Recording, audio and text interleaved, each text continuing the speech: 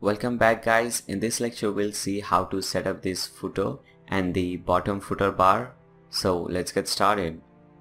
For that come back to your uh, website, uh, open your dashboard in a new tab because for that we'll first have to create a menu. As you can see this is a menu.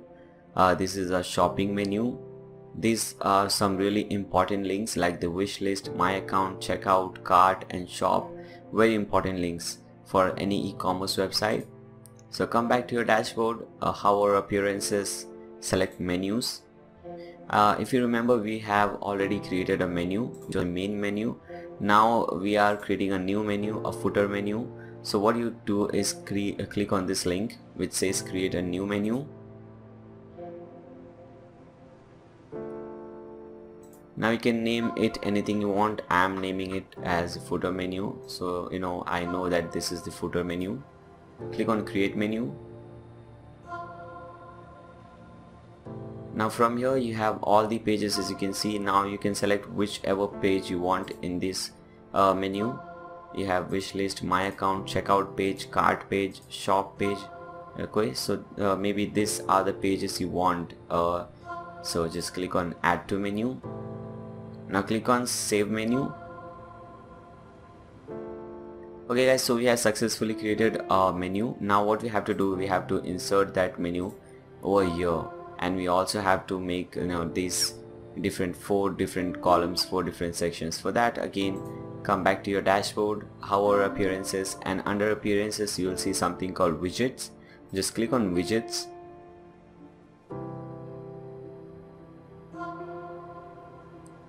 okay the first one is footer area 1 so just open that or expand that and let's see what's there in a footer area 1 it is uh, an about us uh, message. So what you have to do? Just uh, come over here. And there are many different widgets available. So we want this one text. So there are two ways of adding the adding this uh, into the footer area. You can just click on this and select which area do you want this to go so we are selecting footer area 1 now click on add widget. Now the title let's see what's the title. As you can see here it is about us. So you can just have about us as the title and there are some text. So just copy this text and paste it over here. And click on save. Okay. So we have successfully done with the footer area 1 let's see what's there in footer area 2 footer area 2 is again a text with some you know information like timing and number and so on. So again select this text. Now select footer area 2 and click on add widget. Okay. Now in the title uh, we have put our customer service because in the demo it is our customer service. Now copy this. Okay. This much come over here and paste it over here. Now from here you can change everything like uh, instead of this number you can change your number. Instead of this email address you just have to retype your own email address. So that is very simple. Now click on save. Again come back and as you can see the third one is a menu a footer menu. So let's add that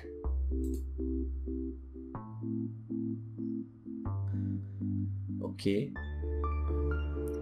Here we have custom menu. Select the footer area 3 click on add widget. Now you can put any title. We are putting shopping. And select a menu. We have we have to select the footer menu and click on save. Okay. Now the fourth one there is a, an image payment option. This image is also available under the logos so select the fourth one and again we have to select this text. And now select the footer area number 4 and click on add widget.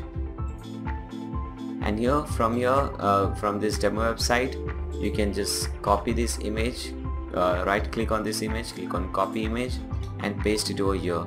This is that simple.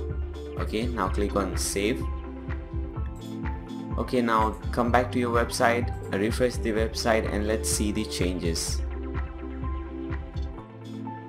Okay guys so as you can see everything is fine now. Uh, we can see the about us uh, these uh, this customer service information the menu and also the payment option. Icon the logo this is images available or you can you know copy this from my website. As I said etv.blogdoot.com the demo website which we have created now let's make changes to this uh, bottom bar the bottom footer bar. For that hover over here and you'll see an option called theme customizer. Click on that. Okay now here you see an option called footer. Open that. You can change the layout. We have four columns over here so we have four columns. Okay you can uh, edit this widget uh, text uh, header text the color you know widget header color and so on from here. If you want you can do though. Come back then you have footer elements whether you want to show these for social icons. If you untick this the social icons will be gone. Then again come back. We have footer menu. Uh, we don't have any footer menu right here. Then we have the bottom bar. Okay you can change the color of this bar. At when it is dark black and the text is uh, around gray color. So you can change this color also if you want. You can change the font size social icon size and so on. And here at the uh, at the bottom we have edit footer credits again come back to that file where we have all the codes. Here you will see something called footer area code. Under that you will see a small code. Just copy that and paste it over here. And as you can see now it says website designed and developed by Nayyar Sheikh. So if you want to change this text Nayyar Sheikh to uh, anything like Afzal Khan then you can put it over here. But it uh, it is a link.